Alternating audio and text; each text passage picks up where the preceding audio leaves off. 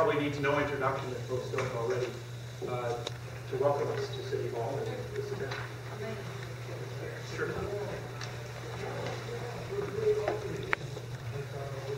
OCMACI, uh, HN, Machen, Tom Mayor, Gregor Robertson, Sweet Ansanal, Andrea Reimer, Tina Chen, uh, East Vancouver, Ansa Chen Quinn Mon, Ta Ko Musqueam, A Ta Squamish, A Ta Swedlatu, Mohameho, Hudson Squalin, Clims Kochnolia, Kochnolia.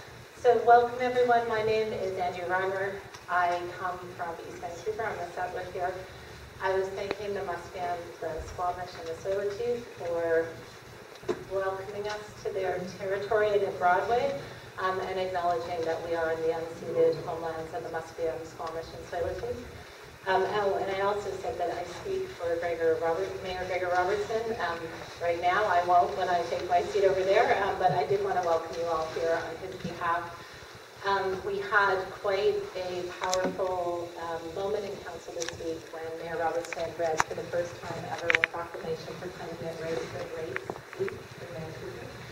Um, and we had Fraser Jones come and give a very powerful testimony to his lived experience living on, um, as a PWD, living on social assistance and what that was like for him. Um, and I think, I know that it moved, it moved people who, through all the pol- political discourse, we've had challenges moving um, in this city, so I wanted to offer thanks for that. Um, and I know many of you are here having just completed the welfare um, food challenge, so I wanted to thank you all for doing that and helping to raise awareness in the community and to thank Raise the Rates for their efforts to, to bring us all together in this way.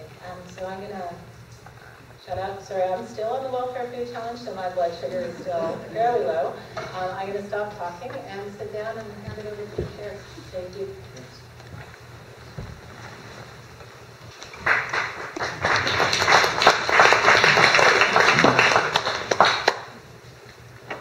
Yes, uh, and we'd also like to call out uh, MP Jenny Kwan. There she is. Just say a few words on behalf of the federal government and Jenny. Go ahead. Well, thank you very much. Uh, I, I won't take too much of your time. Uh, I'm Jenny Kwan, the MP for Vancouver East, and I, I joined the Welfare Food Challenge for the second time uh, last Sunday. And uh, I have to say, you're all a little bit fuzzy to me right now. You're moving just a, ever little bit this way and that way, swaying so slightly. Um, and for me, in this second food challenge, aside from having experienced the uh, normal discourse of being hungry all the time, obsessing about food, not wanting to hang out with my friends, and to go out for coffee with them, and all of those things that people living in poverty each and every day, and those things that I experienced last year when I was on the food challenge. This year, I experienced something new as well in addition to that. My additional challenge this year was that I got the flu in the middle of it. And I became very sick. And by Wednesday, I blew my challenge. I went out and I bought medication and I bought cough drops. And uh, I spent $17.98 on medication just because I had the flu. And, um, you know, it just goes to show you how easy it is for someone living in poverty to not have the means to live within their budget. A common cold, common flu can easily put you off track. And for me, I know that if I didn't get my medication, it would mean that the cold the cough would get into my lungs, it would become bronchitis. Bronchitis will then merge into pneumonia, and if I still don't deal with it, you can imagine what the next phase would be. And uh, from that perspective, it's clear that is not good for you on your personal health from that perspective. And frankly, is not good for the taxpayers as well, because the cost of the healthcare system would be that much more. And uh, for me, luckily, of course, the food challenge ends at the end of this press conference. For other people, 185,000, some 185,000 British Columbians, it doesn't end, and so many more across the country. And then last night, I ran out of medication and I blew my uh, welfare challenge again and spent another $11 on medication. So it's just, is a very easy thing for people to not be able to meet the uh, low-income situation that they're in when they're on income assistance. And uh, for people with any unexpected issues that could emerge, you will blow your budget. It's simply not dignified to have to live that way. It's not okay to shut yourself out from friends and other people to not be able to uh, go out and engage with them. It's not okay to feel that you're dizzy and weak uh, and low in energy all the time. It's not okay to think that you can't have and afford medication when you become ill. It's not okay if your child is living in that situation, and yet that's the reality for many, many people. So I want to say thank you to the uh, Welfare Food Challenge organizers for bringing us together to keep on top of this, to call on Premier Christy Clark to raise the rates. We can do this. We can afford to do it, and we must do it. And on the national level, I want the Prime Minister, Justin Trudeau, to bring forward a national strategy to end poverty. And in the House of Commons, my colleagues uh, has actually taken a member's bill to call for a national strategy to end poverty, to ensure that we have a commissioner who will come forward to say that and make sure that we stay on target. And finally, to include social inclusion as part of that strategy. So I want to thank you uh, for all of this. And um, I have to leave soon because I have to go to the airport to catch my flight to Ottawa. So thank you so much.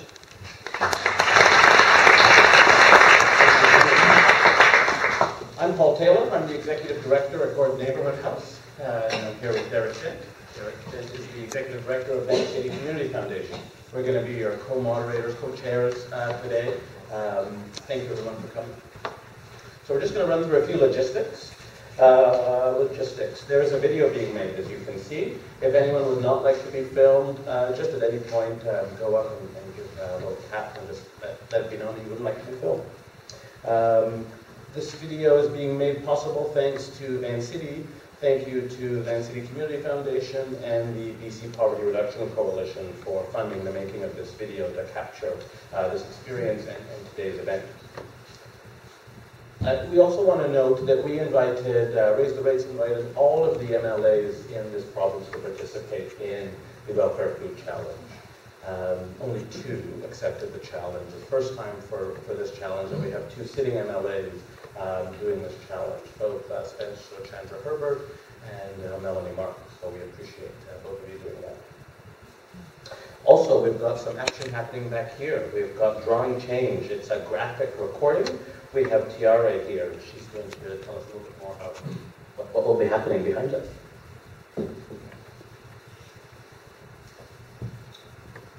Hello, uh, my name is Tiare. I'm a graphic recorder with the agency Drawing Change. And my role here today will be to listen to the questions and the conversations generated from the Welfare Food Challenge and make a visual reflection of the conversation. Um, so capturing big ideas, some of the highlights, and I'm really looking forward to listening to the conversations that emerge from the panel. Thank you so much for having me. Thank you, Thierry.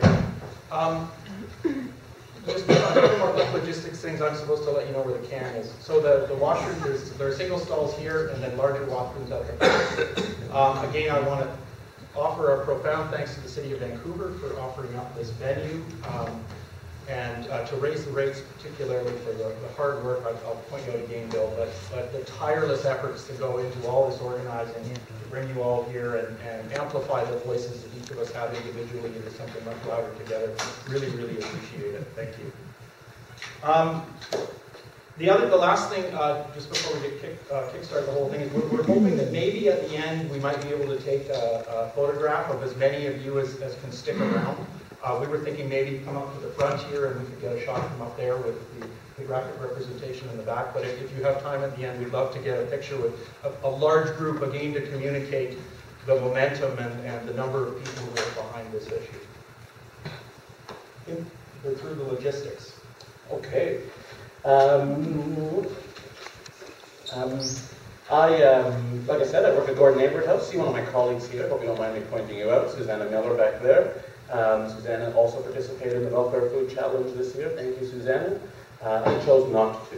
Um, I did it, it was four or five years ago when we first did the Welfare Food Challenge. Um, but I also grew up poor, so doing this challenge was very, very triggering for me and reminded me of those experiences. And for my mental health, I had to stop. So I chose not to do it since then, but I really appreciate all of those folks like yourselves who participated in the challenge to really impress upon how important it is that we must end poverty in this province and we must raise the rates. So thank you. Thanks, Paul. Um, so my name is Derek Gent. I'm the executive director of the Van City Community Foundation, um, and, and I did participate in the challenge this year. I first did it two years ago uh, with my whole family, uh, including three young kids. Uh, and that was a real eye-opener and, and, and drove a lot of personal passion around just how ridiculously inadequate uh, the rates are. And, and it was really interesting to watch them go through it and engage in conversations with their friends and, and bring awareness, like at those early levels. We, we need a whole sort of paradigm shift, a cultural shift to understand what people are going through and to build awareness uh, about this particular issue. Um, so I, I, offer also my thanks to all of those of you who are participating in this and, and those who are, who are living this reality day to day and still find the energy to engage in the kind of activism and advocacy um, with such fervor and, and I'm so inspired and, and learn so much from, from the folks from Raise the Rates and that are doing this work uh, day in and day out.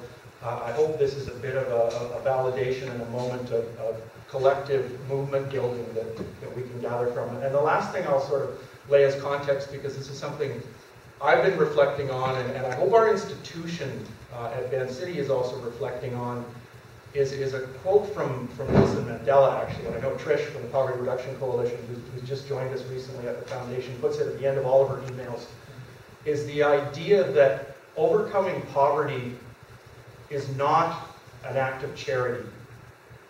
In, in fact, it's an act of justice. And, and the extent to which we get into that mindset, away from food banks and shelters and, and, and patchwork solutions, into good public policy and changing the way that we think about this. I, I, the other quote I'll, that we'll hear a, a number of times today that I reflect on from Bill is that poverty is a political decision. And we can choose as representatives in that political process to ask for change. And I think that's probably the biggest takeaway from today and, and what you'll hear from the panelists and what we're going to, as we move into action, be pushing for is to demand that change uh, as a society. So, all right. Let's get into it.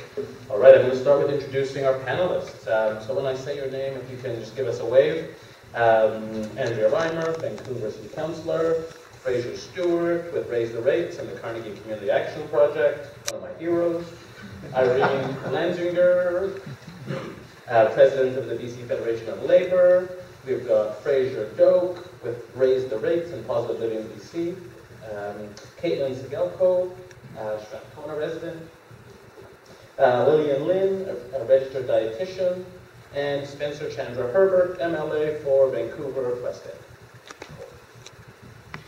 Excellent. All right, let's start just before we kick off with one more logistic thing that I thank him profusely. I grabbed Wes when he came in. If folks don't know Wes Regan from the city of Vancouver, uh, he has kindly agreed to be our timekeeper because the biggest challenge we have up here is going to be keeping this in a time frame to get out of here. So the, the, the respondents have been asked to limit your comments to three minutes. Wes is going to raise a card when you have a minute left and then raise the magic X when you are done. And we will help enforce that from here. So Nice one. awesome. How we can get started. Excellent, thank you, thank you, Wes. Um, we're going to start with our first question. Uh, what was your experience taking the challenge, or what's your experience living on welfare, and how did it make you feel, or how does it make you feel? Who would like to start us off? Maybe we'll go around. Andrea? I was reluctant to go first, and it felt like I, I already went first. Um, so I did want to point out, um, we've had four of us from the community taking the that I know of, um, and all of us are here today. So Molly Henry, who works in the mayor's office, is up in the balcony, um, and then Wes Regan, who you just met as our timekeeper, as well as Mary Clare Zak, who is the head of our social policy. Um, I will say, speaking personally, um, to the first question about the experience, Um, I spent 10 years, um, six years on the street and four years living in fairly, most of my time in the street I was too young to get welfare, um, so it's a very different experience. Been a year on welfare and then three years as a desperately poor working person. Um, so I thought I would have an advantage. Um, as my friends know, I like to win things, and I know the point of this is not to win, but I thought I would have an advantage um, on the challenge. Um, but it turned out I didn't read the fine print, um, and this prohibition on free food, forage food, pound food, friends food, um, really put a cramp in my um, previous style, which made me realize how it was such a stark moment of realizing how much um, the fact that I, I mean, I just genetically am extroverted. I was born extroverted. Um, a huge advantage um, if you are living poor because you you know, there's long lineups. Um, just to survive in those lineups um, without getting pushed out is challenging, but to, to make the connections you need, to find the friend networks, to share the food, to figure out where to guard, like all the, the resources are wasted. Um, and I'm also pretty physically, have always been, you know, fairly athletic, so that helps. I can walk long distances. Um, I'm a vegetarian when I was living on the streets. I used to walk all the way out to the temple, like down through Broadway, um, to eat Sikh, Sikh food is where I learned about the Sikh religion and how generous it is. Um, but it was a really good moment of realizing that um, it's not just about not living in Vancouver and not having access to food banks and other things, which is the reason the rule exists, um, but also understanding that you know, if you have any barriers at all, this becomes impossible. Um, I also had to travel on Thursday and Friday for work, which I knew going into it. Um, I lived many years without any cooking facilities. It was pretty startling how much that impacted my food. Um, I, I, was a bit shocked by it. Um, and I would, I, I, was glad to hear your comments, Paul, because it did, it triggered a lot for me. I, and I found when I ran into people from my street involved life, how much trauma we built up and how feels weird to say that. Well, there's people here who are still living in that world because you just got to keep going so you don't have time to process it. But um, it's still there 25 years later. Thank you, Andrea. Irene? On time. Yes. Um, well, I first want to acknowledge that uh, there were three uh, leaders of unions, and well, three officers of the BC Federation of Labor who took the challenge. Um, Glen Hansman, the president of the BC Teachers Federation, who's here. Uh, Victor Elkins, the president of the Hospital Employees Union, who I think just about does it every year, or tries, and uh, me. Um, this is the second time I did the challenge. I did it two years ago, uh, and the amount of money then was $21, not 18. And one of the first things that really struck me was the difference that $3 made to me. I mean, 21 is not enough. Let's be clear about that. Uh, but 18 is a lot less. Uh, it's really a 15 uh, percent reduction, pretty close to in the amount of money you had. So um, I have never lived in poverty. When my family immigrated to Canada, we were four children and we lived in a one bedroom house, so we haven't always been rich, but uh, we have always had food. I don't ever remember not having enough food as a child or ever in my life. Uh, so for me, I, I, live in a tremendously privileged life and uh, I, I do this, uh, my tiny, tiny, tiny little bit of solidarity uh, with the people who do it every week. Um, I find that I just, it's just the amount of energy you have to spend planning around food and thinking about food and calculating how much you have and dividing up how much you have to last the week and going hungry. And I also traveled to Edmonton and back and ended up at the end of the meeting I was at at a reception with food and open bar and you know it's it's you know these these are my daily experiences. I'm around food all the time. I like to say sometimes i could live on the food that i get at meetings and receptions alone um, so, you know, but that sort of speaks to the social isolation, which I'll, I'll talk about a little bit more in the, in the second question. But one of the experiences I had was on the first day when I came home Saturday, I went and bought my groceries. I buy, spent the whole $18 on the first day and planned the week. And I dropped an apple and it got bruised. And I was so upset about dropping that apple because I only had two apples. And I had bruised one of them. And so this is just, it just really brought home to me how, how this struggle of like little bits of food is an everyday reality for 185,000 people and more because people who work and live in poverty have some of the same struggles. Thank you, Irene. Spencer. Uh, I guess um, what I was really struck with was how precarious it is, how vulnerable you are, uh, how anxious it can be to know that, did I plan correctly? Um, uh, my husband and I did it together and put our table, our food for the week up on the counter and um, nights it really felt like I wanted to eat all that was left for the week. Um, because only then could I be full.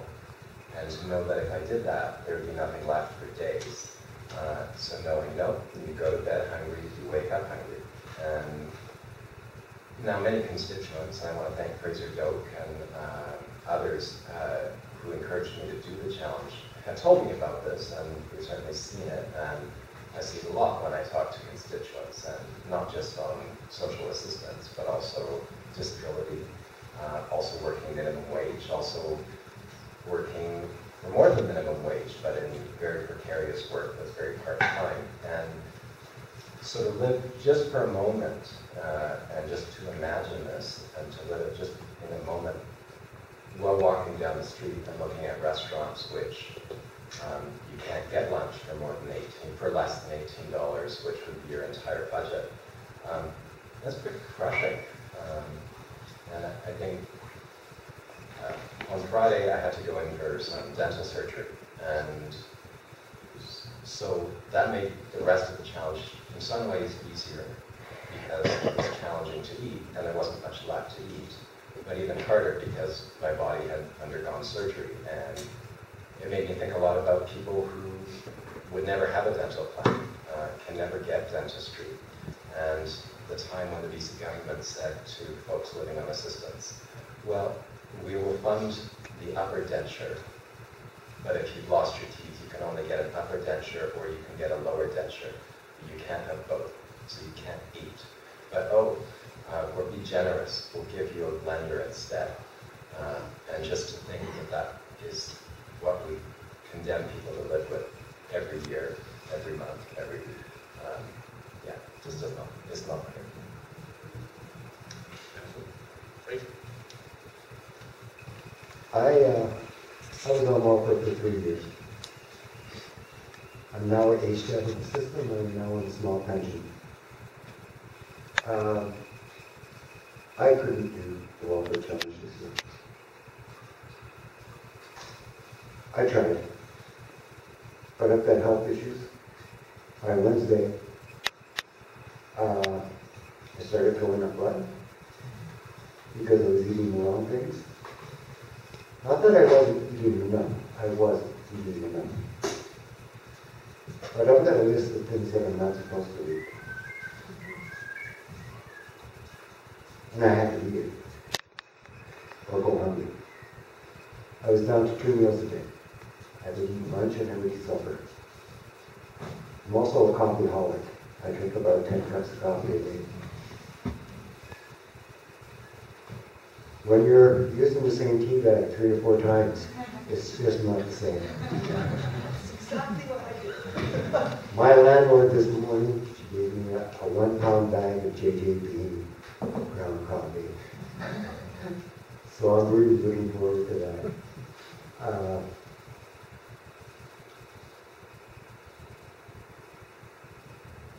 it's a Personal Person on welfare lives about 10 years less on average. I'm going to be politically incorrect. Is attempted murder. They are murdering people with policies. When you know that you're killing people 10 years before their time, that's murder. And I don't care which party it is, whether you're, you know, our friends or our, our enemies, got to get off the ass and solve this problem. That's all I have to say.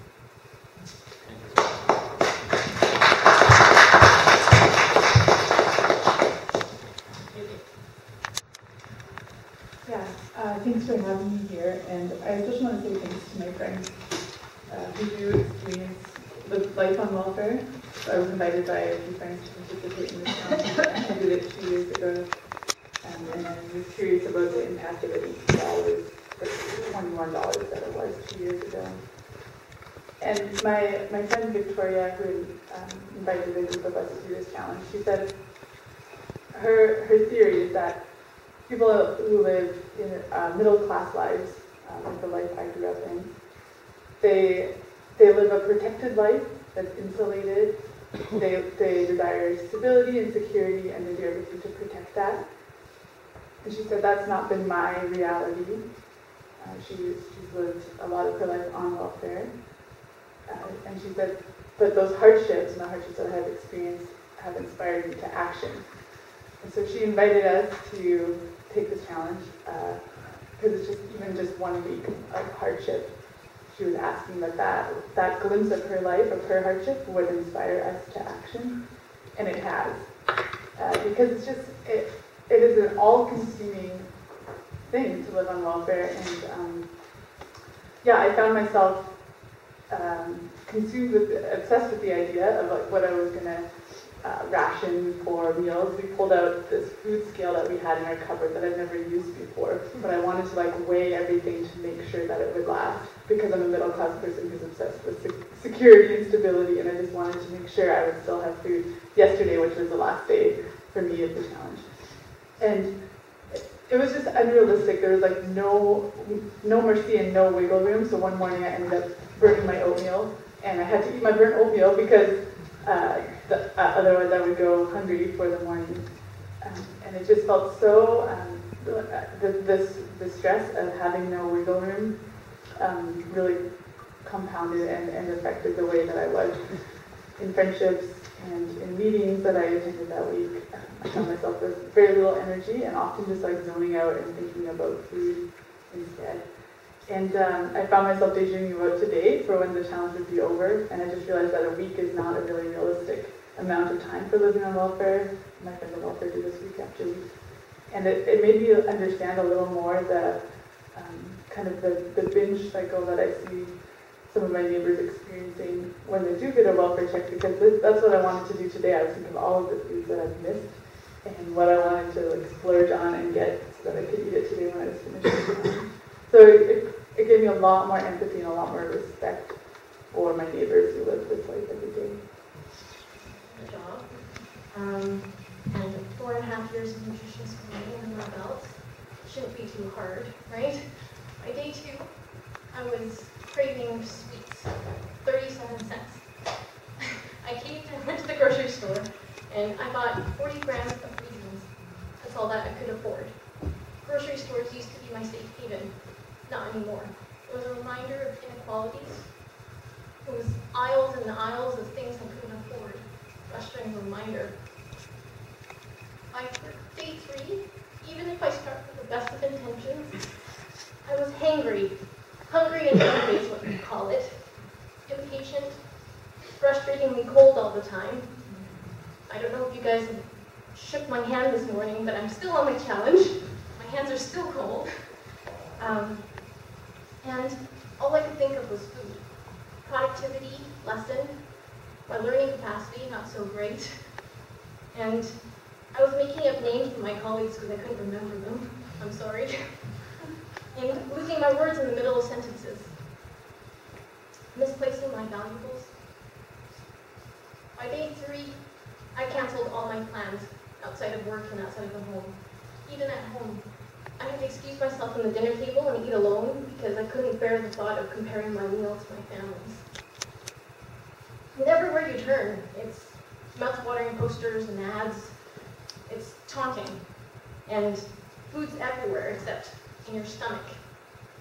By day five, daily activity livings, daily living activities were difficult. Forget physical activity. Walking up the stairs hurt my quads.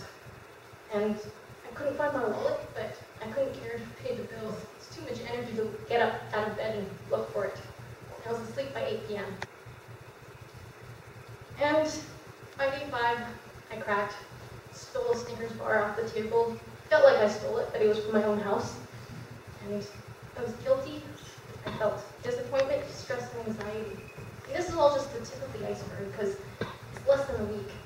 But for most people, it goes on indefinitely, and I can't imagine what that might feel like. For 30 years. Um, I have not done the welfare food challenge due to health problems, but I do do a challenge every week uh, to try and keep alive, because 30 years ago, they basically say it's a death sentence. Um, But no, it isn't. I've also had a liver transplant uh, three and a half years ago, and now I'm dealing with cancer. Uh, So it is a challenge. It's every day I fight for life. I'm a fighter. I'm not a person who lays down and say, the end is near. Um, It is a real challenge for people that are on welfare. They're trying to at least keep a roof over their head, where they can pee in a regular toilet, rather than one that is saved by 20 other people, or shared with 20 other people. Uh, SROs, as far as I'm concerned, are a health hazard, and I am blessed that I have a roof over my head, uh, where a lot of other people are having to be in SROs where cooking is not allowed. Things of that sort are really, really hard. Um, I have been told to drink two ensures a day. Well, that blows the budget right off the thing. I do some odd jobs on the side. I clean bathrooms. I've been told to put those on the back burner now. Um, so everything is going up in the air, and I have to try and shuffle things around. It is really hard for a person to go for a week-to-week challenge, even a lifetime challenge, of trying to keep alive. And poverty that is happening with our welfare system, which has not been raised or even indexed to the rate of inflation that hits every single person in this room, is a crime of our governments. Our governments are supposed to work hand in hand for the goodness of the people, not the goodness of the corporations. Uh, we have to start getting the voice out that this is costing the healthcare system much more money than even helping the people on welfare.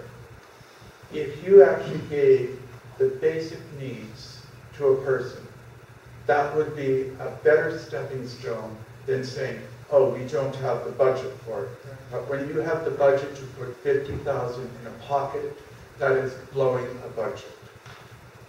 Uh, I am not, I am an activist and I'll speak for others rather than just myself because I just keep on going. And I wish a lot of other politicians would be the activists that they need to be. And even if their own party is doing something that you do not agree with, speak out, step back, and hold your ground. Uh, things like that have to change a way things are done. Welfare rates and disability rates should be increased at least to above the poverty level now, and then indexed every three to seven years, rather than allowing us to fight almost a decade later, where we know inflation hits everyone. And Keep yes, Sorry. I speak, well done. I give you a bit extra because some were, some were short, but Sorry about that. Importantly, on us as a society, the, the issue is not just putting money into the hands of individuals for their benefit, but for our benefit as a society. I, I heard some, so there's been a great piece of work done about the cost of poverty in saying that it's upwards of $9 billion in British Columbia. If when you start adding up, you know, security costs and policing and healthcare and, and a whole range of, of costs, not to mention productivity, those of us that experience directly. And the cost of a sort of quite integrated, holistic, and supportive poverty reduction strategy would be somewhere in the neighborhood of $4 billion. So the, the business case is actually pretty good. But, but I'd like each of you now to focus on that next question of what are the broader social impacts, and, and I think this was meant uh, rhetorically, Bill, but uh, can people live on welfare rates? it's, it's probably clearly no. But the government thinks they can. talk a little bit about, about those other broader social impacts and, and what this means for us.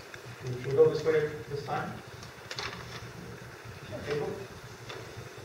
Um, So I think something I noticed doing was how um, privileged I am to live where I do. So I live in downtown East Side, and uh, we have a really rich community of survivors there. And I think, um, as I said, my respect for my neighbors grew a lot during, during this challenge.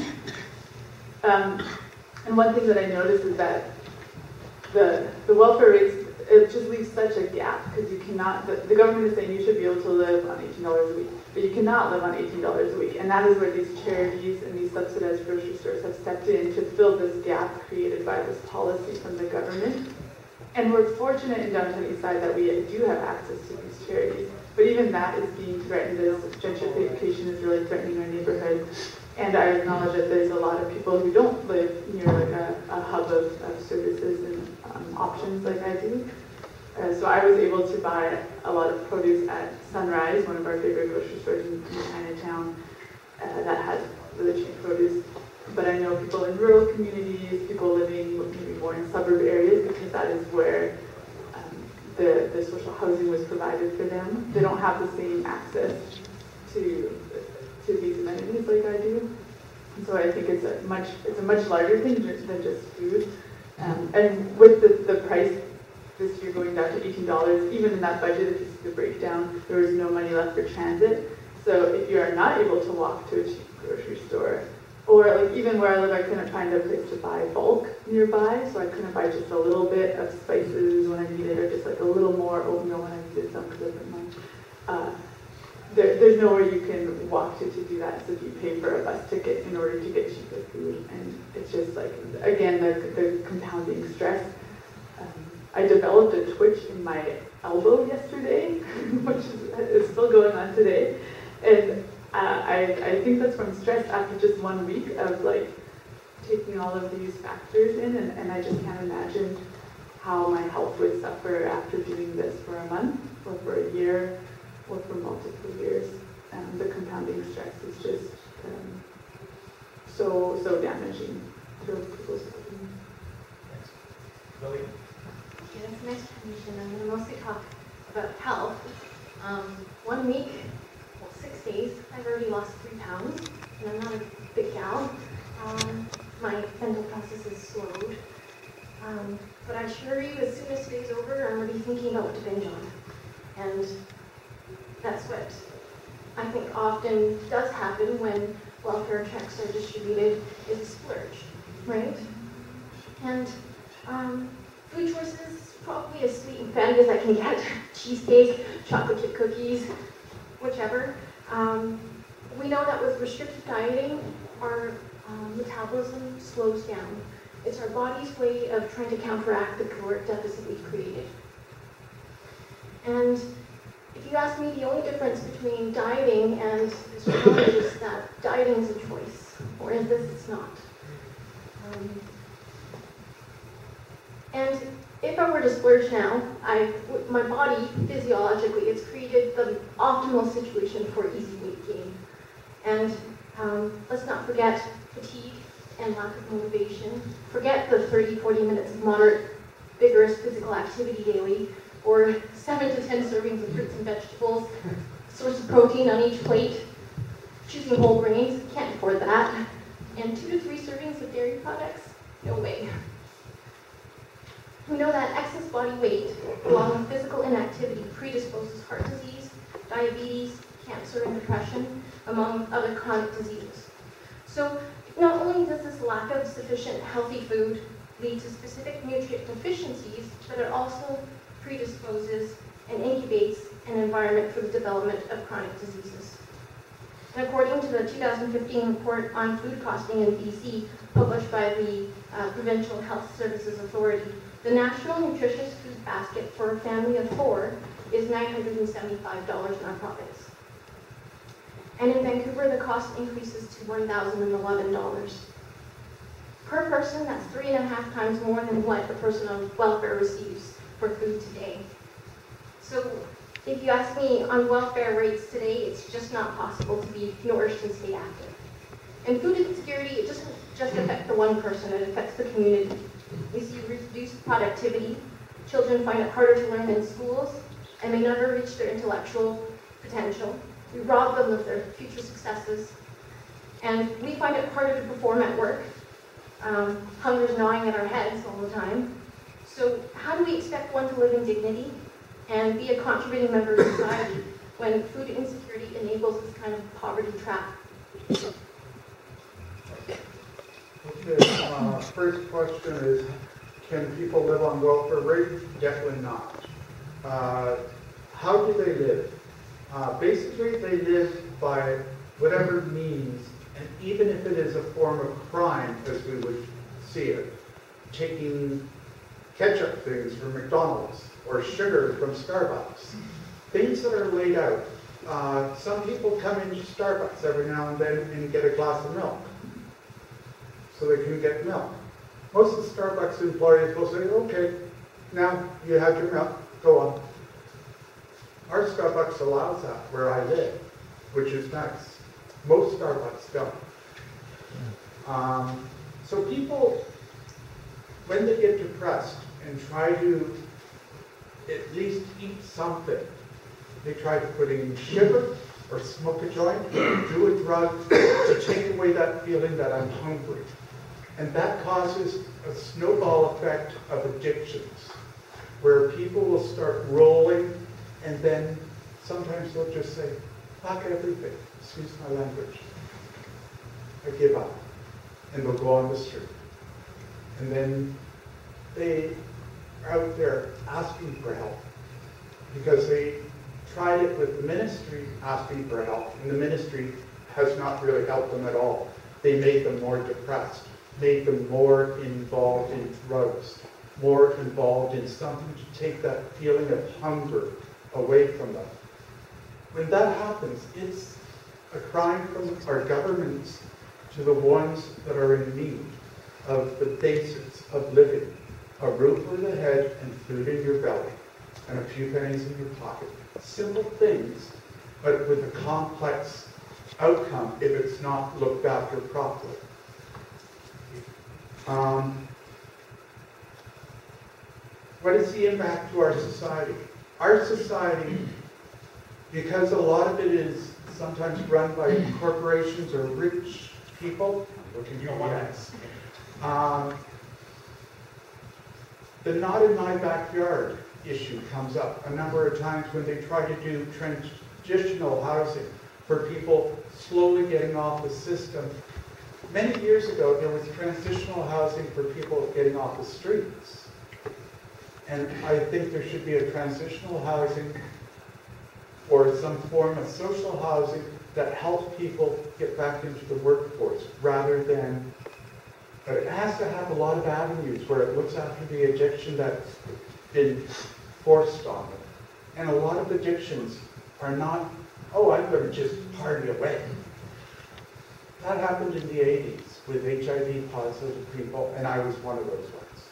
I thought I'd be dead many years ago, and I'm still alive. A lot of people will understand things like that. Yeah.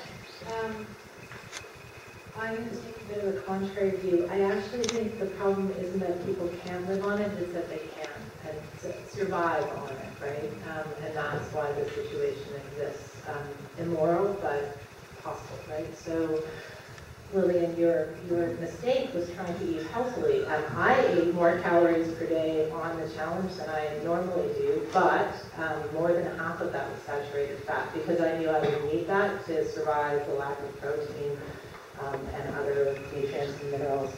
Um, and that has a long-term price, right? I mean, I, I live less time than most um, on the streets, you, know, because it becomes a cycle that you can't get out of. Your mental focus is bad, um, you are getting sicker and sicker, it's harder and harder to get an education because you can't stay focused when you are there. Um, so I walked out of that with diabetes, digestive problems, a chronic degenerative disease, and you might think that's a long list. It's actually pretty short for somebody with my life history. Um, and yet for those who continue to eat this way, you know, that, that spiral just goes down and down and down. I had a coffee pot break on me, a coffee pot that was my only source of cooking and hot water to be able to make food in Ottawa. And I, I actually, like, I started crying. Not a little bit over the coffee pot, a lot over the past. If you think of the cost of that to society, to have somebody in that position that they're so vulnerable and so desperate, um, opportunities to be able to move forward become pretty limited. So the impact on society, and Derek, you spoke to the cost of poverty, um, great report. The eight to nine billion that poverty cost is sort of equally split between healthcare and municipalities. So obviously, as a city councilor, I have a very keen um, interest in in this issue, even if, if I didn't have a sort of moral or ethical direction in that regard. Um, and that money is spent on emergency services. It's spent on police. We all know that the criminalization of poverty, as Fraser spoke to, um, moving people along, giving people tickets, issuing warrants, tracking them down. Um, it's also spent by fire, as the province has cut back on medical services. It's our firefighters who end up on the front line of um, whether it's diabetic coma or other emergency that people are experiencing. Um, but it's also spent in our school system, in our child care system, and I think that's what, Derek, you keep trying to get us there. Um, it, it is immoral that we allow adults to live this way. It's actually criminal that we take that opportunity away from children because every impact I have um, on me from this week is compounded a hundredfold if I was in a position of, of, having a growing body and not having that those calories and nutrients that I need. Um, you're robbing that child of their future, which which is should be a crime if it if it isn't a crime. Thank you, thank you for that segue, uh, Andrea, because uh, I'm a teacher by training, uh, and I have enormous empathy, sympathy, and uh, for everybody who lives uh, in poverty and for uh, people on social assistance. But there's a particular place in my heart for the children who face that experience. And I want to talk about three impacts. And as Andrea said, when these children experience these things, they last a lifetime right? They, they have an impact on that particular human being all of their life. And uh, one is the lack of fresh fruit and vegetables. That was one of the hardest things for me to deal with. Like I had four bananas and two apples for the week. Um, and that's just like not enough and definitely not enough for a child who's growing. Cognitive function. Uh, about Thursday or Friday, um, I said something like, I don't think this is really experiencing my cognitive function. And a staff person who happens to be in the room at, at this moment, I'm not mentioning any names, Stephen, um, said, oh yes, it's, a it's uh, but think of those children going to school, and we know this so well as teachers. We experience it all the time, uh, particularly, you know, I taught in two different schools on the east side of Vancouver, not for a long time, but I did teach at two different east side schools. And you, you see this impact on children and their ability to learn. Uh, it, it, really, that's why we have breakfast programs. That's why we, you know, we have teachers who keep food in their room because we know the impact uh, that this has on children and their cognitive function. And the third thing, and this was something I didn't really think about the first time I did the challenge, but I certainly did this time, is social isolation. So you think about the impact, uh, you know, it's part of our emotional well-being to socialize with our friends and family and to build those emotional relationships. And so when children are deprived of uh, the ability to do that because they can't go with their friends or, you know, they, they don't have the money to participate in this kind of social interaction with other children that builds those skills that last them a lifetime. And that's how we, we see the impact of poverty. Uh, and for those children, the impact will be on their educational outcomes, on their health outcomes, on their outcomes in the criminal justice system, on every aspect of their life. And, and that's really something we need to think about uh, because we need to make sure that children don't grow up in poverty in this province. Thank you. Spencer. Um, I guess what I, uh, when I think about can people live like this, how do people survive, what are the impacts on the people living on social assistance or disability um, or just on exceptionally low incomes, I also think about what are the impacts on the community, and I see it a lot in my community in the West End. Um, in the talking to Melanie Mark, uh, the MLA for Mount Pleasant, um, she certainly described the same thing, uh, is that it creates division. Uh, it creates incredible division between good people. Uh, I think that as a society, when one person is struggling, that does impact everybody. We're all connected, I believe that. And what I see in our community is you see people on the streets begging for food. And you see the people who that makes uncomfortable for a variety of reasons. Uh, you see um, that lead to othering of people in poverty and this kind of, well, they're not like me, and discrimination and um, sometimes violence. Uh, uh, and then you see it as well where other people who are struggling in poverty, um, maybe on an inadequate wage, sometimes get pitted against other people living in poverty, and it becomes this kind of war. And I expected to see more uh, of that discussion come up from constituents, but what I was really struck by was solidarity in the sense that people want to make change, but um, are needlessly divided by a system that depends on making the rich richer and the poor poorer.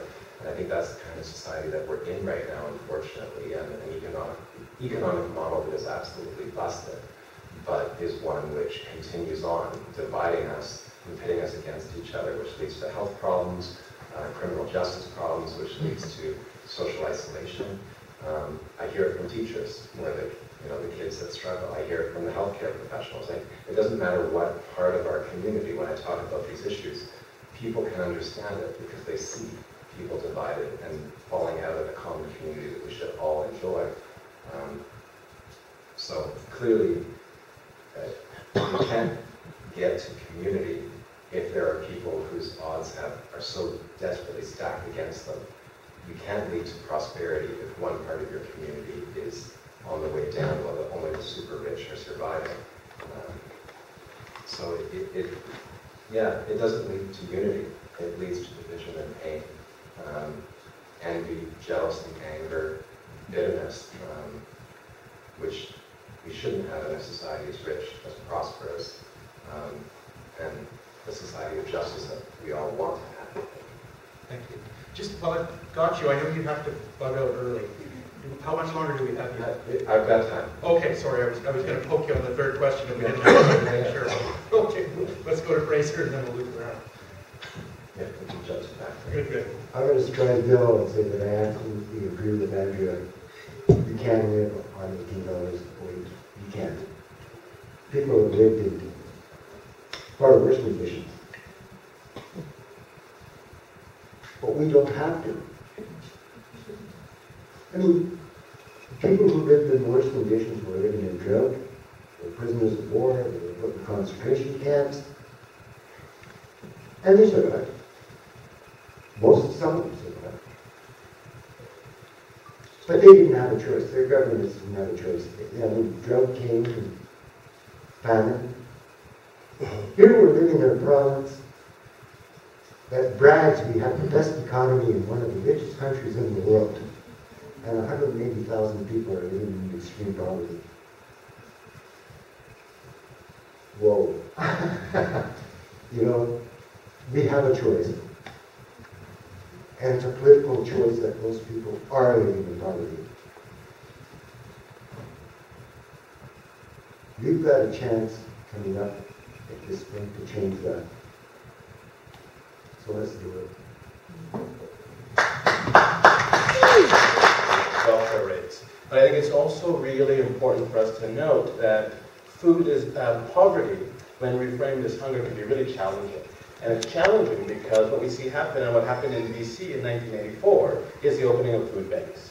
Food banks as a response to hunger. So really important for us to, to not do that while we're having this conversation about food. Since 2008, we've seen the number of people that access food banks increase by 25%. Clearly, there, there, there's a solution that we need that isn't about necessarily about food. Um, so uh, my next question, I'm going to start with my MLA, Spencer, um, is around um, what should be done about welfare rates, and what are you going to do uh, to bring about change? Uh, what should be done about welfare rates? They should go up. What am I going to do about it? Um, work with my colleagues to bring forward a plan to do that. Um, that's very simple, but it sounds simple, but it's not. I can look at past previous experiences, and this has been a lot easier to say than do.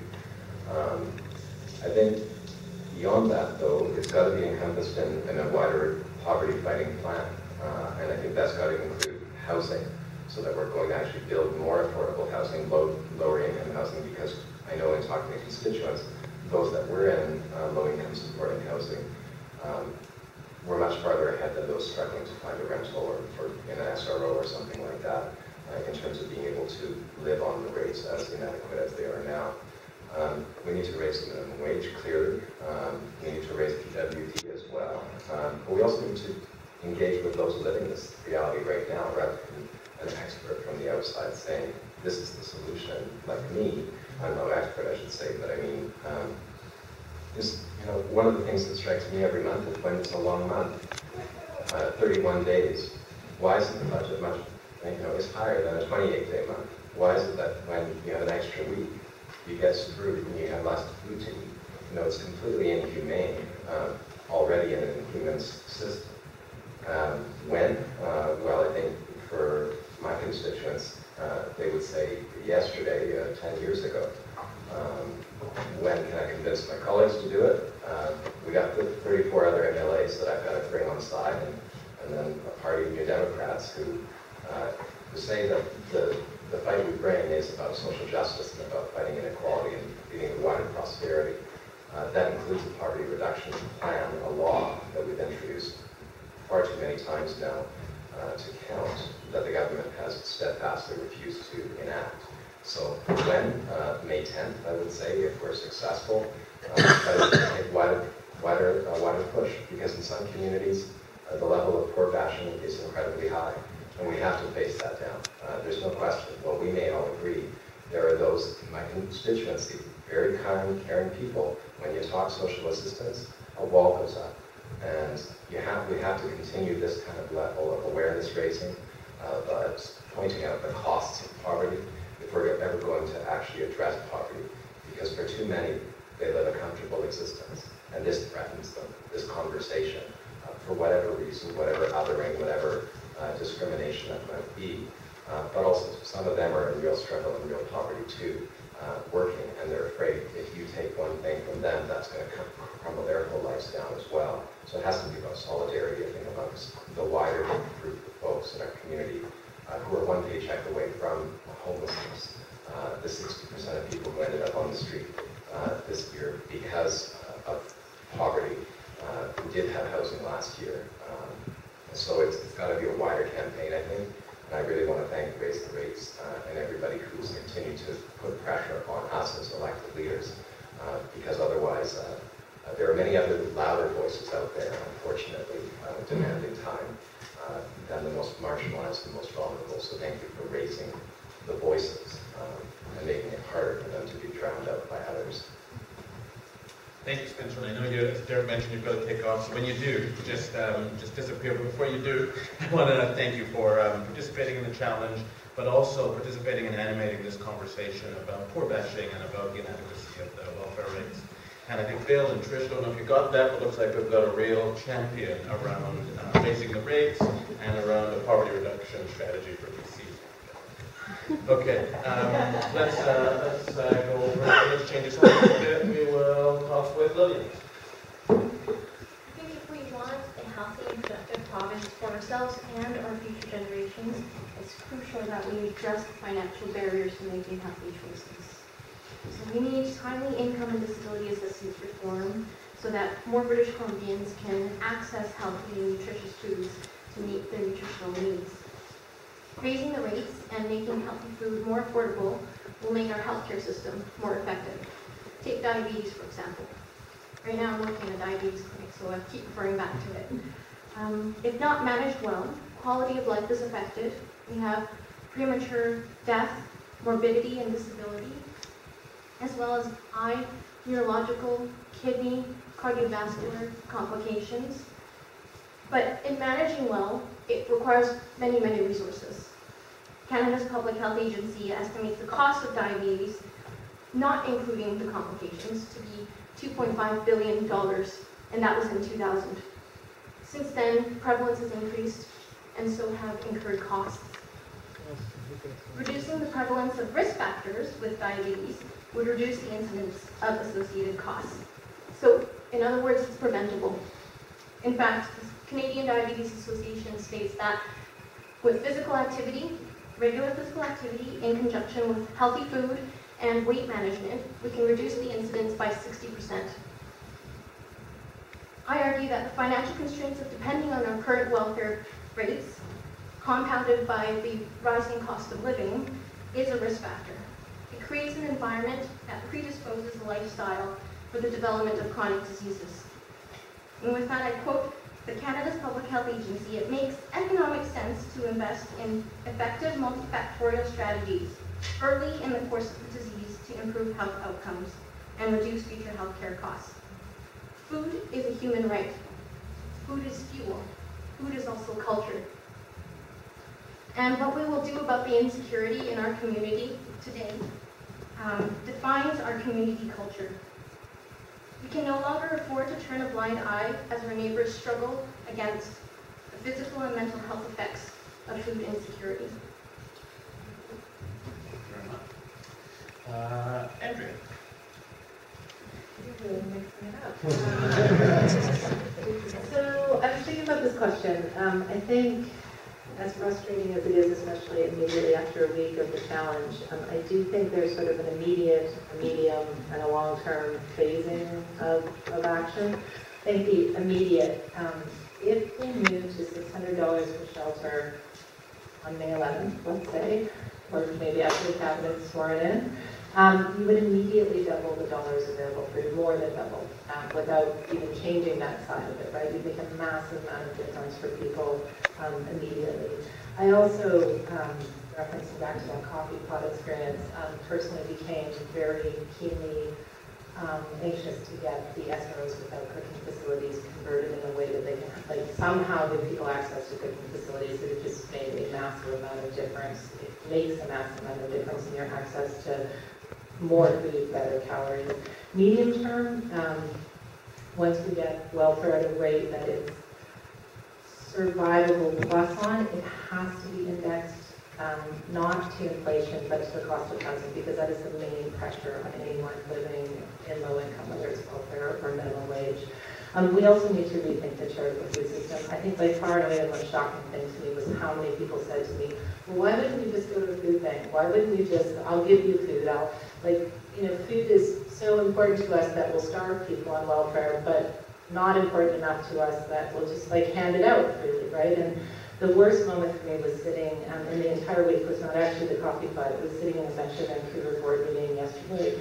Uh, everybody, except for me, had just eaten a very, a free, taxpayer-funded, uh, high-calorie, very high-protein meat, like three different kinds of meat and eggs, and it smelled really good. Um, and then proceeded to talk about why we should give tax, why we should lobby to give tax cuts to corporations so that they could donate more wasted food um, to charity. And I just, it was pretty tough not to jump up and say something um, that, but I, I do think it really struck home for me how much the fact that we can survive on saturated fat um, and this charitable food system is masking the reality of how desperate it is for people on welfare, and we have to go after that. Um, the next thing is long term. I'm a big proponent of guaranteed annual income. I just think I think it's up to me and others to think about how we get the poor bash from people from poor bashing to believing that that is not only possible but necessary. Um, and the last thing I'll say is a complete housing system overhaul. As long as housing is treated as a commodity, as only a commodity and not a right, um, we will we'll be back. We might be able to get the welfare rates up and all the other things, and then we'll be back here 10 or 15 years from now having exactly the same discussion. If it's a monopoly board, you need capital to get on. For those of us who don't have capital, it's not that we're not losing. We're not losing the game. We're not even playing. We, we are desperately hoping that the people on the board um, even notice us. And I just don't think that that is going to, it's not sustainable over the long term. Thank you, Andrea. Yeah, I think we can address this uh, on two levels, personally and on a societal level, because you have to remember that it's people who make the policies that impact societies. And so for me to take this, for me as a person with very little political sway um, or political power, for me to take this challenge um, had, a, it, it, it changed the way that I um, view poverty. It changed the relationships that I have with people who experience poverty. And I'm glad that poor bashing has been talked about because um, if we can counter that individually, and if we can counter that um, so that we see all of society saying that poor bashing is not okay, that policymakers will no longer bring poor bashing into policy, um, then we can, then our, then our policies can begin to be liberated and to be working on behalf of people who do experience poverty. Um, and so how I did this was just acknowledging my privilege that even throughout the challenge, even this week where I was limited to $18 for food, I still had privilege that I could leverage in my favor. So I, I had a community of people that I lived with that was doing this challenge together so we could share food, we could barter together. I traded my roommate uh, some oil that I had purchased for her potato skins because people pay like eight bucks for that at Boston Pizza. It's good um, and we also, I have like access, like I said, to, to affordable groceries in my neighborhood, and I have the, the knowledge and appliances in my kitchen to know how to like process tomatoes a bunch of different ways and freeze them before they go bad because that's the one downfall of, of cheap food is that it's like on the verge of going bad. Um, so all of these things are things that I had access to because I'm a person of privilege. That people, like Andrea Reimer said, people living in SROs do not have the same access to the kitchen amenities that I have, and not necessarily the same access to to community um, and to, to, people to share resources and share food. But although I've seen a lot of rich, uh, rich community among people who experience poverty. Um, and so if, I think on a, on a, more political level, what we need to do is commit to creating a, a poverty reduction plan. Um, SBC is the only province without one now. And I moved here recently from Saskatchewan, and Saskatchewan, it was about two or three years ago when I, when I moved, and they had just um, won the poverty reduction plan. And then to move to BC, which in many ways is ahead of Saskatchewan in, in many trend-setting things, um, but to find out that we're still behind on this issue uh, is just really sad. And it doesn't make sense because it doesn't have to be. So I think that if we have a provincial a plan to be talking about poverty, um, then we can't just be putting this issue on the back burner. We can't be saying like, oh yeah, people are people are surviving. I think um, I think it's true that people are surviving on on welfare rates, and therefore policymakers feel like they can turn a blind eye to it because it, they're making a go of it. So let's focus our attention on on other things. So if we have a policy where we're talking about how do we reduce poverty all the time, um, then that can no longer be put on the back burner. Okay, um, I'll speak on three levels of governance. Uh, one, the welfare rate should be raised, and then it should be indexed at least to a percentage of the inflation that hits all of us. Uh, I'm not saying to the percentage, but to a percentage to keep us above the poverty line. Um, and uh, it should be more humane because the system has become more unhumane because if, if you pick up a phone to try and get the answers now, which you're on for hours, and then they'll say, leave your message and we'll try and call you back. You don't get called back half the time. Or you try and do it through the computer. Half the time you don't even get a proper answer that way. The best way of doing the system is actually talking to a person rather than an electrical device to try and get your the way things are going when you're applying for services.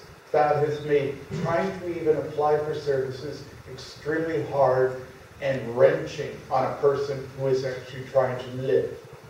Um, the uh, city issue would be, with civics, would be give more incentive for rental and different forms of permits for buildings rather than ownership buildings.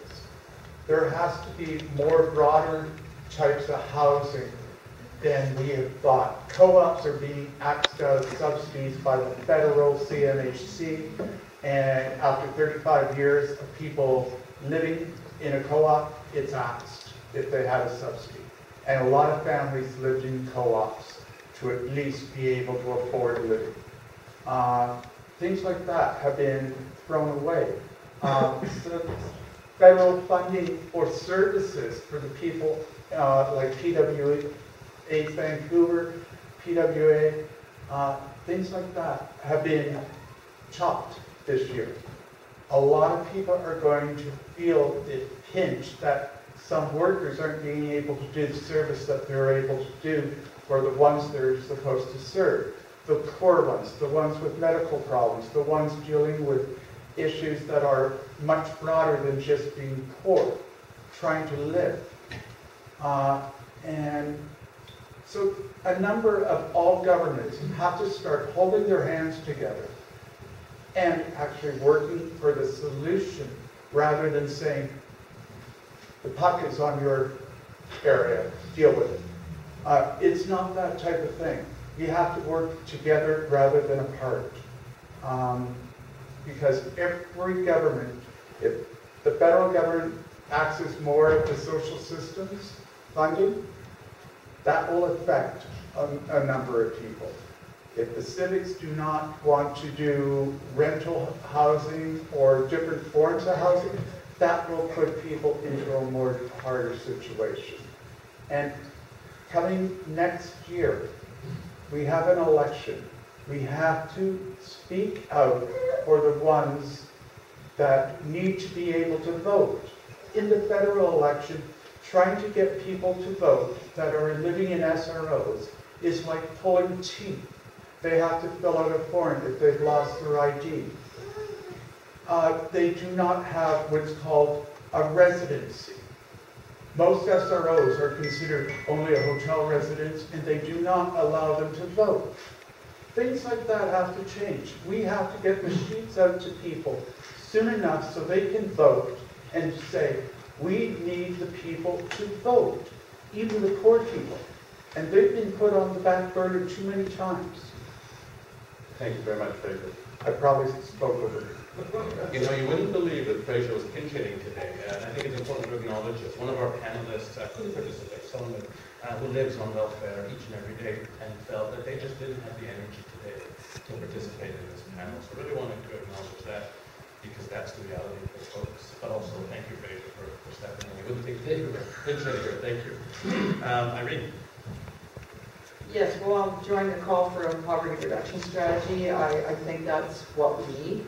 Uh, no question we need that. Um, and it has to have a raise in welfare rates or a guaranteed annual income. I'm kind of a fan of that idea, but some way to raise the bar for people uh, who need that support.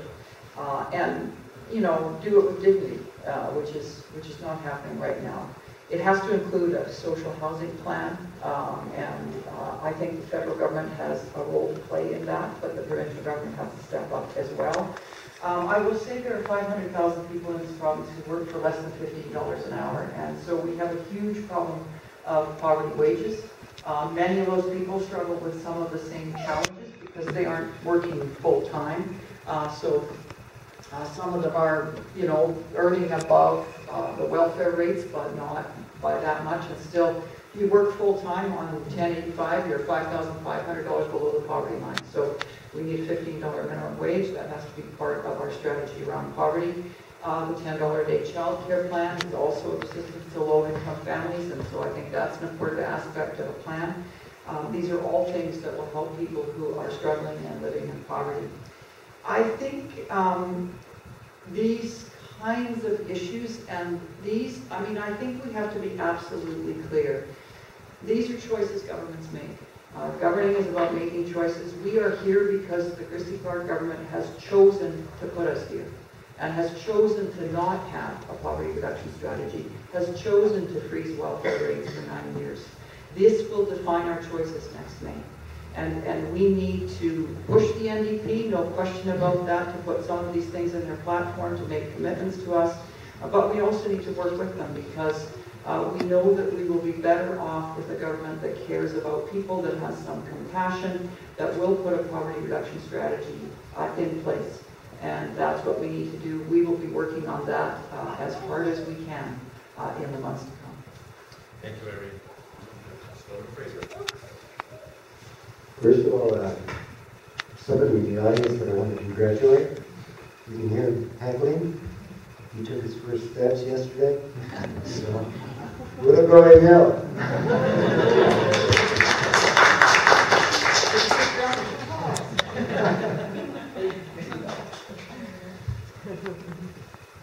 You know, uh, what really touched me when I was reading Andrea's blog was when the coffee pot broke. I work with people who live in SROs and I, I live in an SRO. Most SROs don't even have place where you can cook. So if you go to the food bank, you can't even cook half the food that they're going to give you.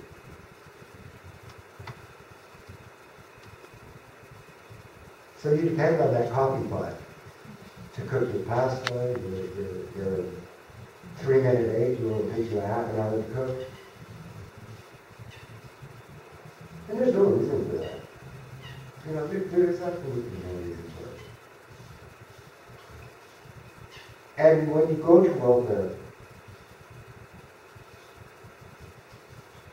and they tell you to go to the food bank, Yeah.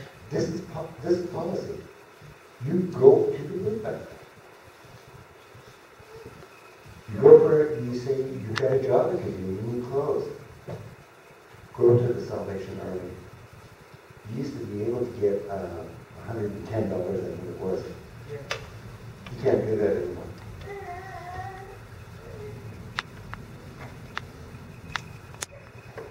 Welfare are actually lucky ones. Because we can't go to a food bank. We can't stand an hour in in line for free food.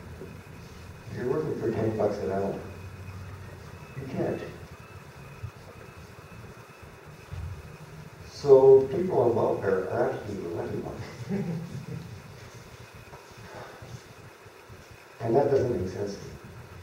Tangible uh, examples there, the the very least of which is voting, assuming you can sign up to vote, which can be all like so.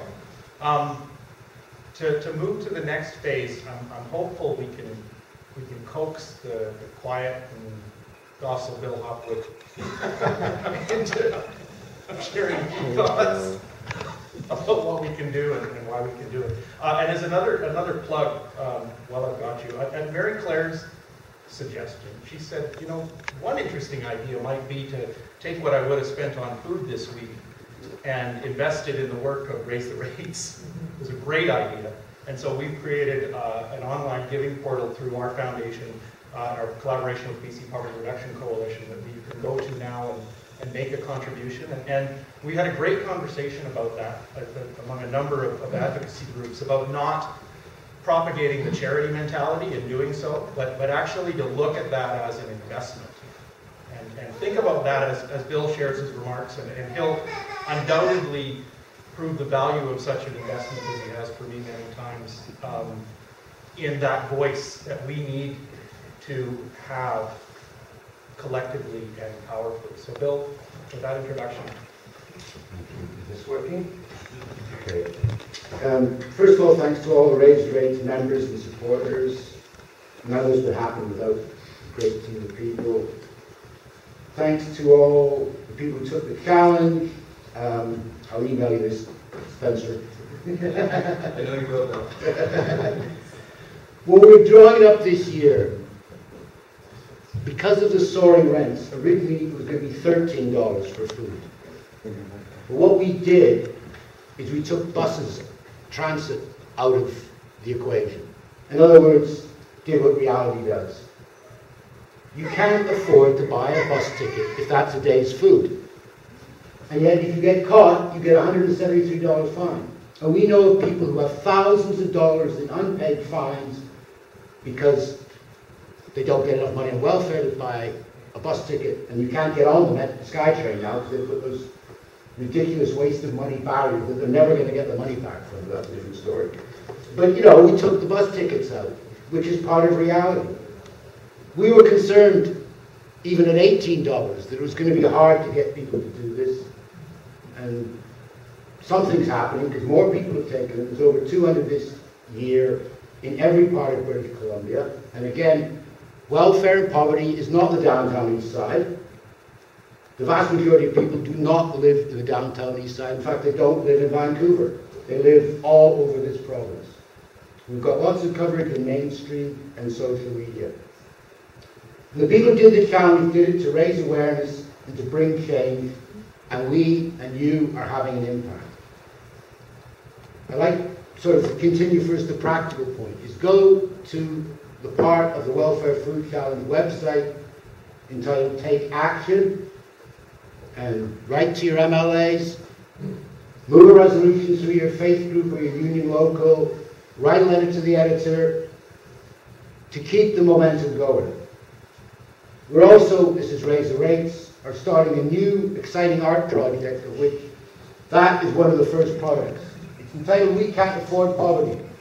And there's these small posters and buttons outside. There's more, more to come, videos, lots of stuff. So go to the website, which is nopovertybc.ca, and sign on there, and you'll get loads of information. Or go talk to the people on the table outside. I will make two points of the discussion. One, people are describing the effect of living on this money. People on 610 on welfare are expected to go to work. Imagine it's a five-week month. You get the same rent check. You get an interview. Do you eat that day? Do you get a haircut that day? Or do you get some clean clothes? Or do you go in the physical state you are in? You know? And that's the reality. People have to get a job. And the government does everything possible to keep people from not getting jobs. Welfare now does not help people. It is a punishment for being poor, and it's to scare the Jesus out of working people not to fall off the job. Put up with every crap job you've got because that's what happens if you don't. And the second point I want to take up is privilege. Going to work and getting paid is not a privilege. Being a multi-millionaire is a privilege. And neoliberalism is pushing us so far back that we think having a decent job and having a roof over our head is a privilege. They are not privileges. Those are human rights. And people on welfare don't have even those human rights. I, the privilege to me are the 1%. And that's the cause of why we have this. We know it is people and movements that make change. And it's up to us to push, both to push other politicians and to support politicians like what Spencer said. But movements make change rather than politicians. We have to make that movement. We're building that movement. And part of having a strong movement is a clear vision of what we want. And I want to pose a question even to some of the panel and the people who've taken the challenge. Do we want to end something bad? Or do we want to make it just a little bit worse? Not quite so bad. You know all the arguments about welfare. This week, the City of Vancouver had a proclamation for the International Day for the Eradication of Poverty. Eradication of poverty. Not the International Day for a slight reduction in poverty.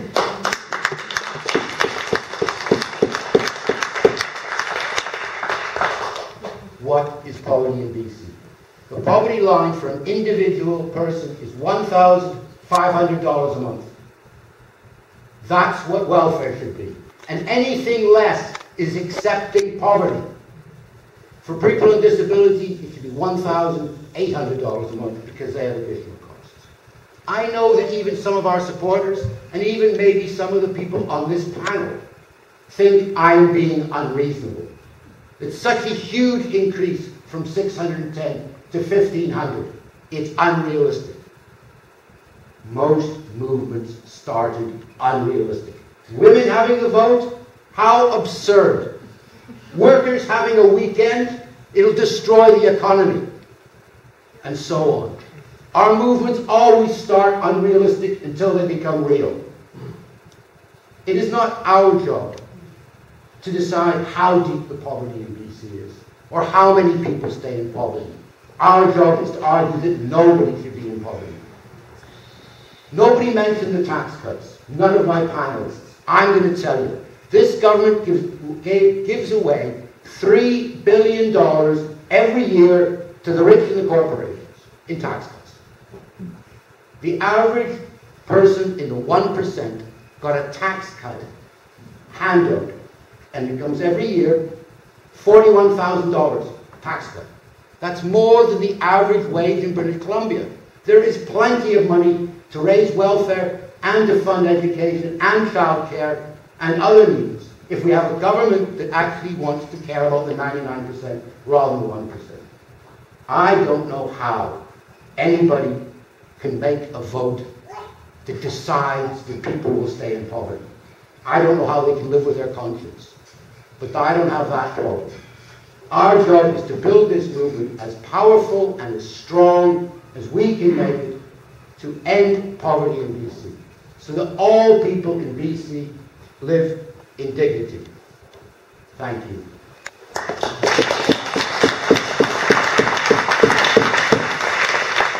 On top of that, a little property, six hundred and ten dollars a month, you're not even gonna get it. Yeah.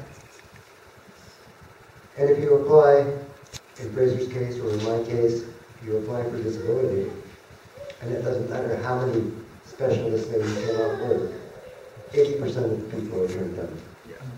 Eighty percent. When you get a prescription that you need special foods, or you're not gonna get it. I was actually told you don't need food. Yeah. You don't need food. That's what I was told. Mm-hmm.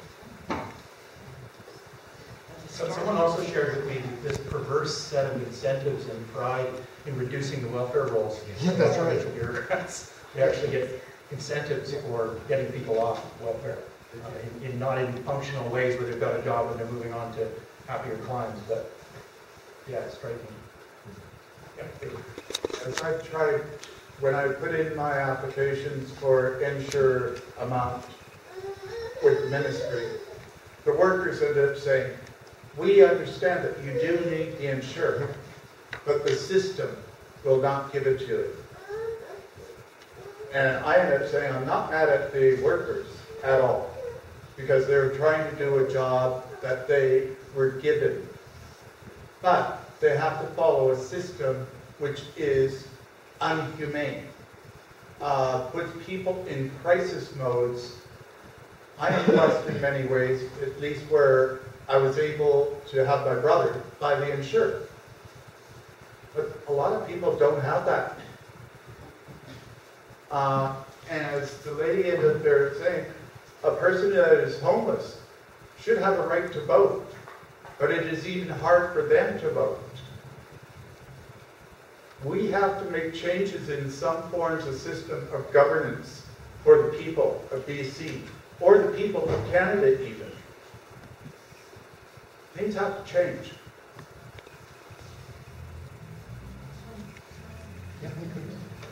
Um, You know, I put a lot of um, time and energy this week into thinking about this broader question of how this change happened. I actually, I have to admit, I did not feel socially isolated. I realized doing this that I spent so much time in my life either hungry or just not being able to access restaurants or ice cream cones or whatever that I don't, I do not feel the lack of them exactly. It was interesting hearing people talk about it and hearing it from last year. Um, but I have sat amongst them as they make plans to give corporations tax cuts or whatever and, and thought, what, what? Many of them came up to me because they read my blog at the Metro meeting, for example. Um, I was at a fairly high level meeting in Ottawa. People were coming up to me saying, oh, it's so great you're doing this. And the very same people, minutes later, were pursuing policies that were absolutely devastating for the people they said they were concerned about. Um, so I don't, I guess the point is, mm, my thinking on it is that these are not bad people. I, I personally believe that Stephen Harper actually was a bad person. I think they're relatively rare in government.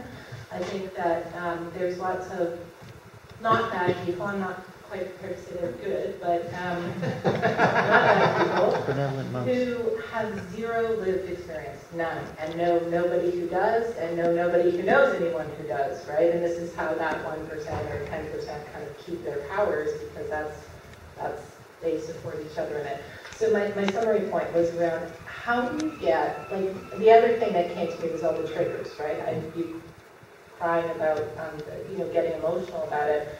I've had an equal number of people come up to me like that. People who live in desperate poverty who have been triggered by this whole experience. So how do I empower those people who and I'm one of them, like really just don't want to go back there. Like, I mean, metaphorically, don't want to dive into a campaign to raise the rates because it's so traumatic to experience it again. So how do we get that group who has experienced it, of good people, to be that political force? Because it's not reasonable to ask the people who are living without the calories or the protein or the, you know, the money who, who are trying to access the food system to be the bulk of that movement. So that it's a reflection, not a very focused one, I apologize, um, about how we could make change happen this election. It is the mothers, the grandparents, the people who've lived in poverty, um, bringing together their social networks and getting them engaged. That's going to add the bodies we need for this to be a credible threat to a government and an election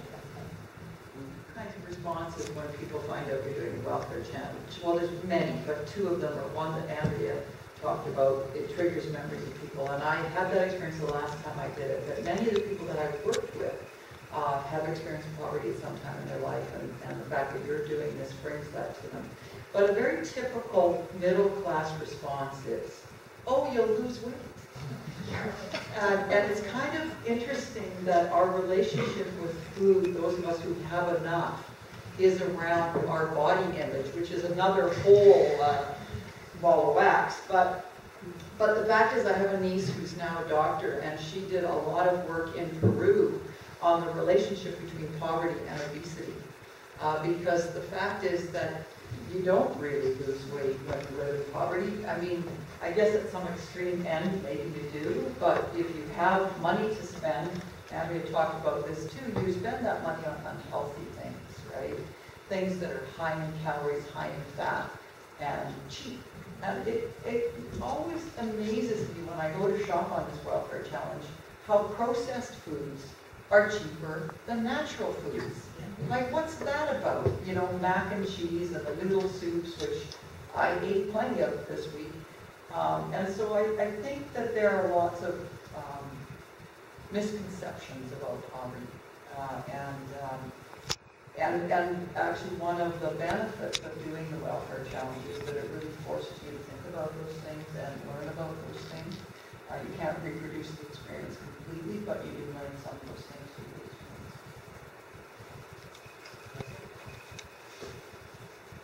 Hello, um, my name is Vanessa. Um, I was born, raised, and have spent all my life. Or on the other side, just being plain mean, being mean spirited. And sometimes it's, it can be both at the same time.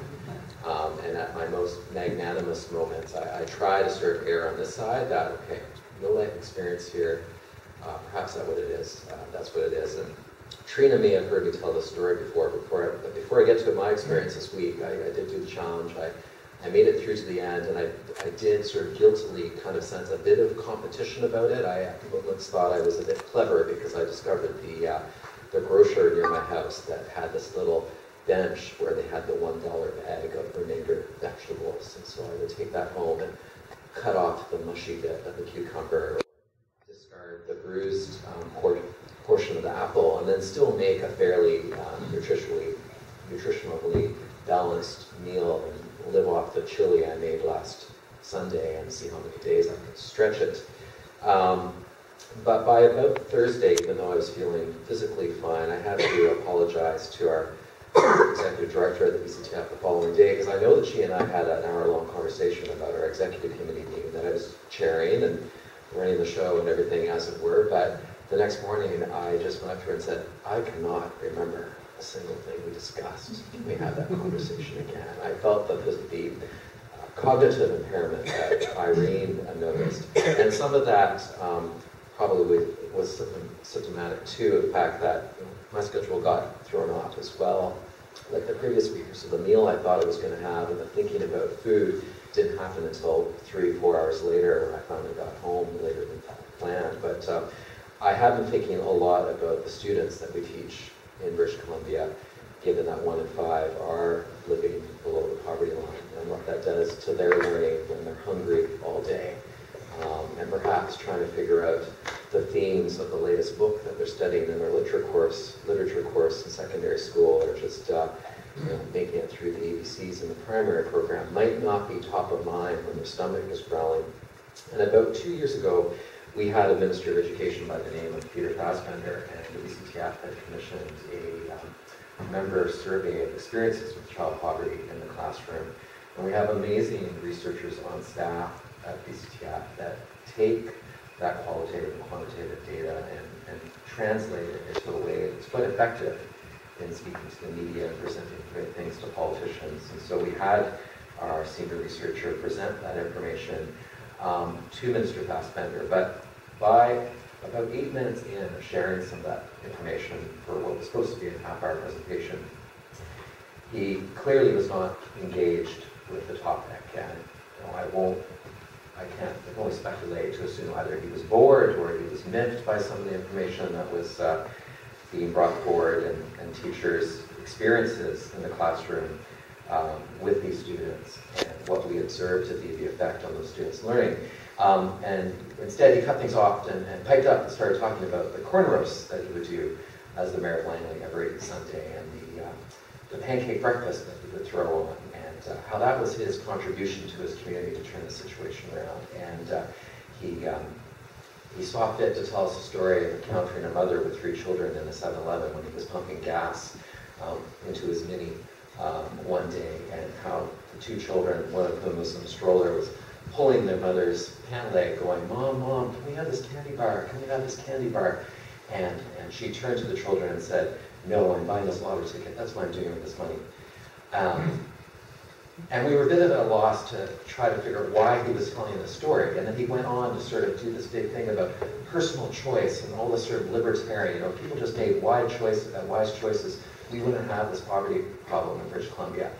And afterwards, after he left, we just went, we, we said a few words that I'm not going to say on camera here. um, but if this is the, the sort of view of the policymakers um, in the province, that if it was if it wasn't for these one or two poor choices that um, parents might make along the way, that all the child poverty and poverty in this province would go away. It has nothing to do with systemic issues. It has nothing to do with welfare rates or the lack of opportunities in British Columbia or a crummy minimum wage or anything like that. If that's truly what um, Minister Fassbender and his ilk uh, truly think and feel, um, then we're in a lot of trouble in British Columbia, and so are the kids. So I'm, I'm very happy that this event occurred this, uh, this week to, um, to bring broader attention to the need to dramatically increase the welfare rates in British Columbia, as well as the minimum wage. And um, it's long overdue that that happens.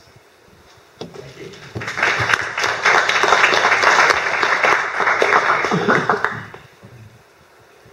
Hey everyone, um, my name is Ian Marquez, and uh, uh, wow, I'm shaky.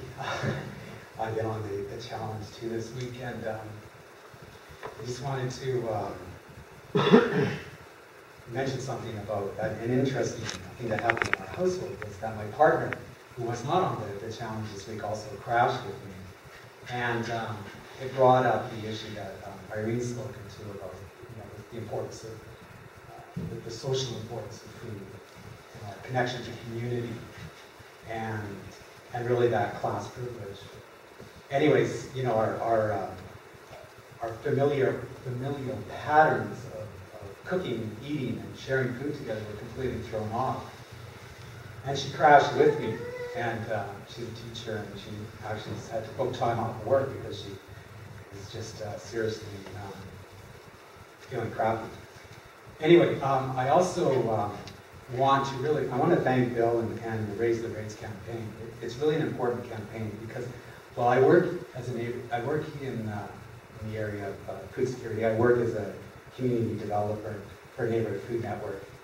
And, um, you know, a lot of the programming that we do is about food access and um, supporting families who are struggling. And I think a lot of us in the networks right now are struggling to understand our work and to, um, and, and, the, and the realization that it's not enough, that uh, we need to attack the underlying causes of,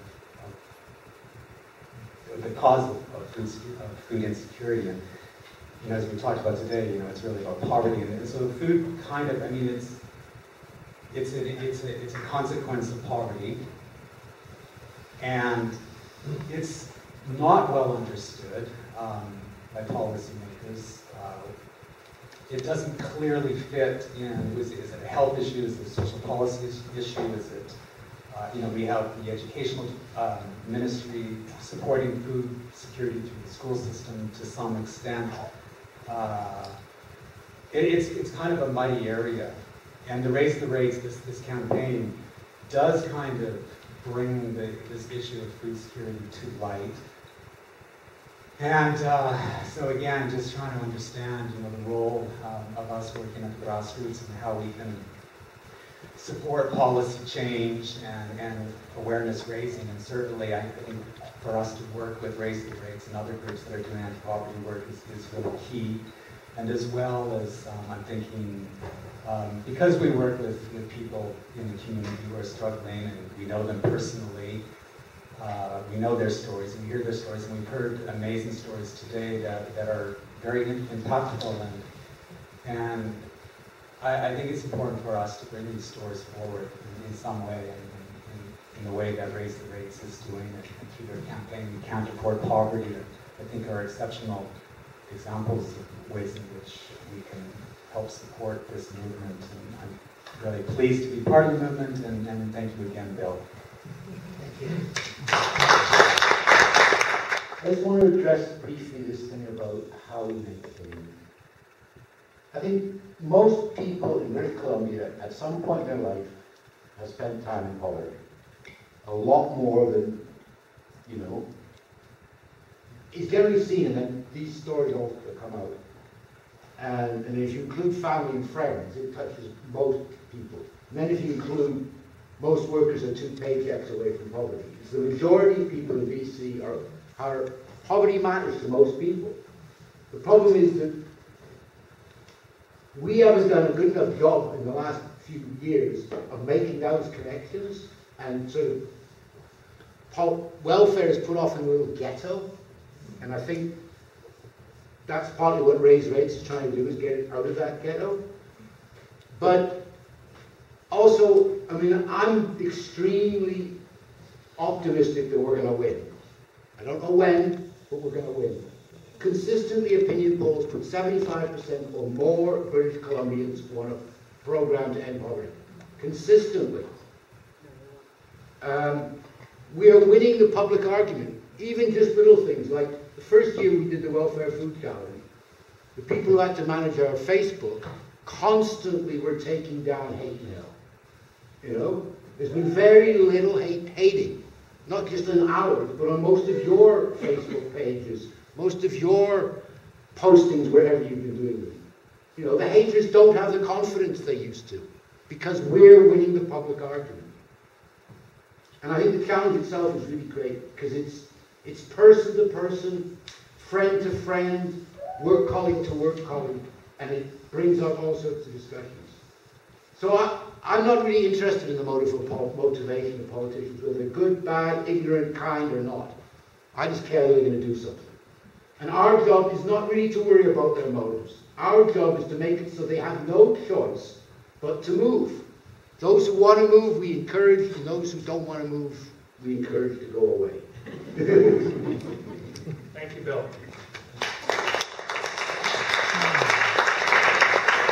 just after four now, so I, I think we're going to wrap up. But I want to thank everyone deeply in terms of the participation from the, the panel here who came and brought their best game and, and thoughtful contributions, of the folks in the audience, the, the 200 plus that took the challenge, and the, the countless others that have joined in solidarity. I, I think uh, I totally agree that, that we're, we're onto something. My biggest concern, to be honest, is that there's a, a sort of notional change.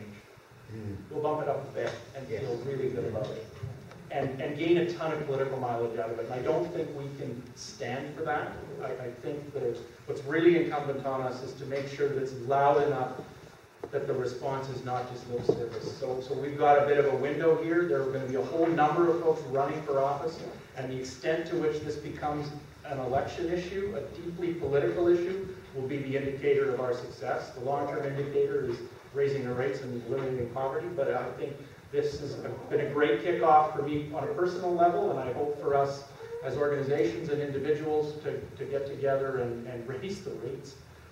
Um, so thank you. I don't know if you got any closing comments, Just, just keep the conversations going, keep the conversations going. There's a policy piece that we all recognize needs to happen, but also the, the, the conversations need to happen because we need to convince more people and have those conversations to challenge poor action. Yes. And for those now that are, that are, can hang around and and have a chance to come up and look at the amazing graphic facilitation that's happened up here, maybe uh, we're going to have someone up there that'll try to take a picture of us.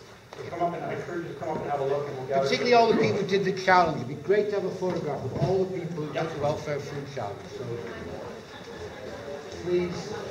Okay, posters and buttons at the outside there too, take them, spread them around if you need more, let them know.